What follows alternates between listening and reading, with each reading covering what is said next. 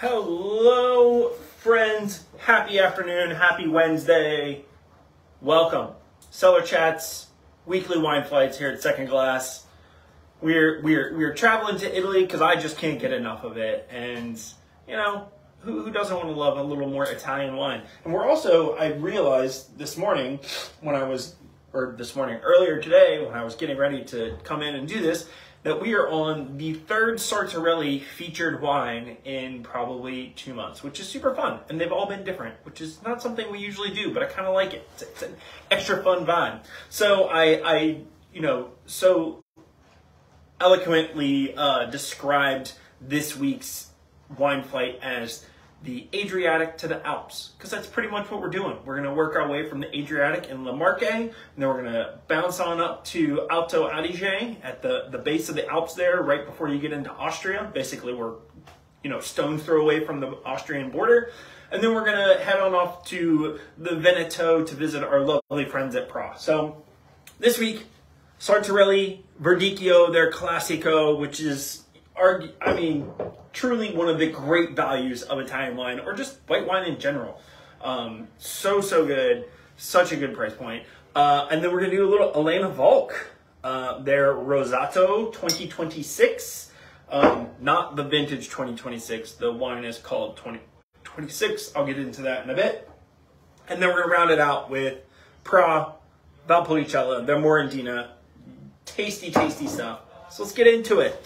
Um, Sartarelli, I won't go I won't go too much into these guys just because we've had the you know we've had a wine on here from them, you know, like I said three times now three times in the last probably two months, but really lovely family focused exclusively on Verdicchio. Uh, they just celebrated their 50th anniversary of the winery, um, which is really amazing, um, and it is now slowly in the transition of being passed down to the next generation, although the the patriarch of the family is still very involved, but his daughter Katerina has taken on a more um, substantial role at the winery and for the business, which is really exciting to see for such a really, really cool and interesting wine. So again, we're talking Verdicchio.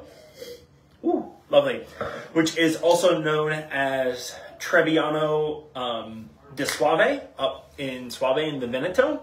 Um, Verdicchio is one of those grape varieties that, along with, let's see, I'm gonna see if I can name them all. You've got Verdicchio in La Marche, you've got Fiano in Campania, you have um, Friulano up in Friuli, you have Catarratto in Sicily, and I feel like there's one more, probably something like uh, Timorasso um, those are like the five grape varieties, at least in my opinion, of white grape varieties of Italy that really deserve to be given more attention for their ability to make very complex, um, age-worthy, but also just incredibly delicious wines. Um, and they're just not talked about enough. So anytime I can talk about one of those more than once in two months is a good time for me.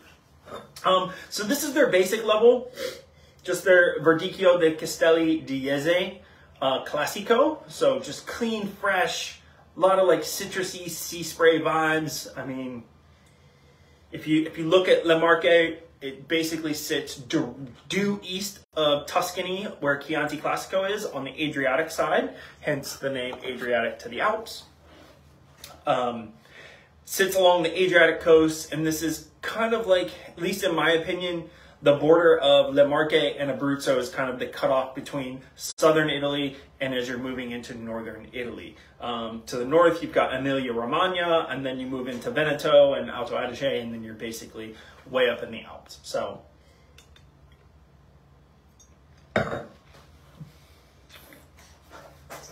yeah, delicious, fresh, clean, lemon citrus vibrancy, little like there is, and I mentioned it previously when we did the Tralivio a couple weeks ago with Verdicchio, there's all this, always this kind of subtle, like green slash bitter almond character that it's not quite marzipan like, but it kind of reminds me of like if you're having like maybe uh, an almond pastry or an almond croissant, and you get the slivers of almonds on the top that are that are usually raw or slightly toasted, and they have that really like you know great almond flavor, but they're not super sweet. They're almost like bitter. That's what that reminds me of in the best way possible.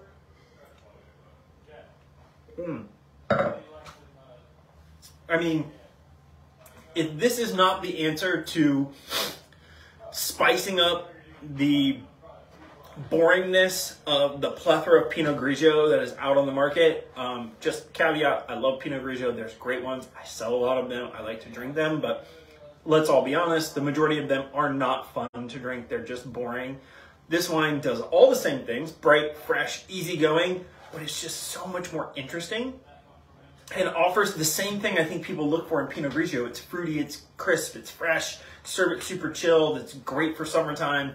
Um, but, you know, this is from a small family winery based in La Marche and, and not a massive conglomerate based who knows where. So anyways, uh, off my soapbox there. Again, that is Sartoria, their Classico Verdicchio di Castelli di Jesi.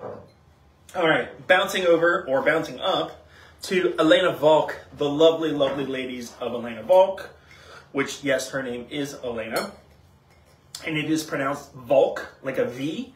Um, the family is historically Austrian, so, you know, German speaking, as is a lot of the Alto Adige region. Um, Elena married into the family. She took over, no, didn't take over, but she asked to be given the opportunity to focus all of their state owned vineyards into her own winery that was focused on quality, not quantity.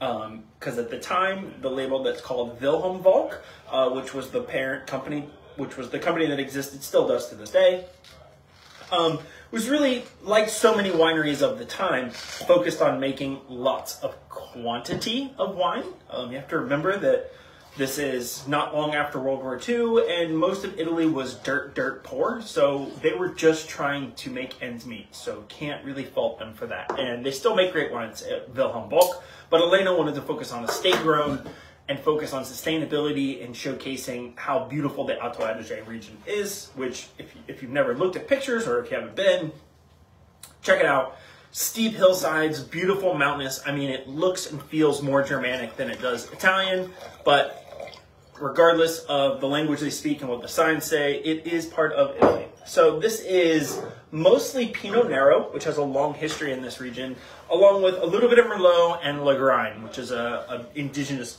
grape variety to the Alto Adige that I personally love. I think they make um, Lagrein can be vibrant and fresh. It's almost like a Malbec meets Cabernet Franc in a way. Um, but anyways, onto this Rosato. Um, I think I think in the in the tasting notes for this wine, I, I put something like "Move over Provence." Here comes Alto Adige, which is not wrong. I mean, look at the color of this. Absolutely gorgeous. You know, onion skin, delicate salmon color. The nose is bright, clean, and fresh. I mean, this is the epitome of what people look for in great summertime rosé for sipping by the pool or sitting outside with a group of friends, you know, what have you. This is all the things that they want. It just doesn't say Provence, France. Here it says Alto Adige, Italy. Actually, I let me let me rephrase that. It is Vigneti delle Dolomiti, um, and that is because they do have some vineyards that fall outside of, no, rewind. You can't use the Alto Adige DOC for rosé. There is no rosé category for Alto Adige, which is why they have to declassify it and use the more broad term. But this does all come from estate grown fruit. Um, 2026, which is the name of the wine, not the vintage, in case you thought we were going in time and coming back with this wine, um, refers to the degrees of Brix I think it's degrees of Brix, but basically the the sugar content level at which the fruit is harvested, and then the temperature at which it is fermented. So it is harvested at 20 degrees. it's not Brix, it's another Italian term, so it's not exactly a, one to one ratio to Brix, which just means sugar accumulation. Um, getting a little technical there. And then 26 degrees uh, Celsius, which is where they is the fermentation. So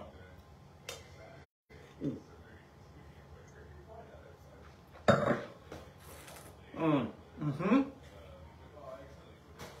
Yes. So good. Wow. Super bright, tart cherry, kind of strawberry and cream. Not really strawberries and cream, but definitely like tart, lush strawberries. Like I just walked out into Lewis Farms, like pick your own, like you know, basically strawberry field there off of Gordon Road. It's hot, it's sunny. I pulled the ripest strawberry off of the, the bush there and I just took a bite out of it right in the middle of the field. It's hot, it's sweaty. I'm picking strawberries, but I need something refreshing and that's what I get. And boom, that's it in a glass. Done. Moving on. Again, Elena Walch Rosato 2026 from the 2022 vintage. Very confusing. Lots of twos and zeros.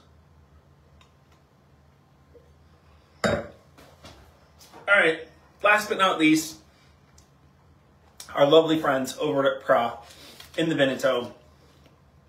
You know, probably most notably, not probably, they are most notably known for their Soave, really incredible bottlings of Soave from Classico all the way up to single vineyard and single appellate, like single region, yeah, single vineyard, sing, single hillside bottlings. Um, of Soave. They make most, almost all of their Soave bottlings are from 100% Garganega, um, which is kind of the, the flagship grape. But then they do make one wine where they use some of that Trebbiano di Soave, which I mentioned, same grape as Verdicchio. But this is their Valpolicella project, which they started maybe 20, 20, 25 years ago, give or take. My math, my math, my memory may not be super accurate, but it's not far off. So much newer to the family. You know, they've been in there in the region for since like the early 80s, late 70s. Um, and I think they started the Valpolicella project maybe 15, 20 years ago. Uh, Morandina refers to the name of the vineyard where it is located. So they purchased one site, um, a cooler climate, volcanic with some limestone base soil, um, which is really unique for this area and they produce these really lifted, lively versions of um, Valpolicella. So they make uh, Ripasso, which, oddly enough, Celeste also has here on the list, and it's just, there's a bottle sitting in front of me, so I thought I would show that. I think we might have done that on one of our calls as well. They make this classic Val Valpolicella, kind of classico, like just basic version, and then obviously they make an Amarone, all of them come from the same vineyard site, and all of them have this like underlying freshness and a little bit of like arugula, peppery, almost like volcanic soil characteristic to them. Um, I find these wines just plain delicious, really fresh. To me, this is a great summertime red, pizza wine, burger wine, you know, what have you. Tomahawk, you know, pork chop, you know, whatever your vibe is. Again, you get some of that really pretty like green herbaceousness on the nose some volcanic characteristics, dark kind of black and blue berries.